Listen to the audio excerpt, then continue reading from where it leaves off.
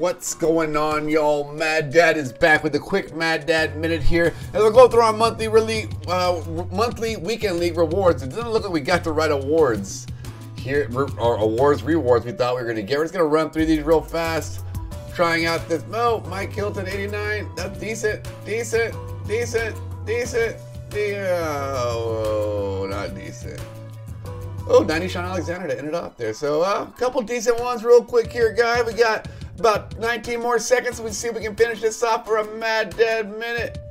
Oh, we got 80, 84. Oh, we got us a ghost. 88. Oh, the ghost. The worst ghost you could get. We'll take that, guys. We are out. Mad Dad says appreciate it. We peace.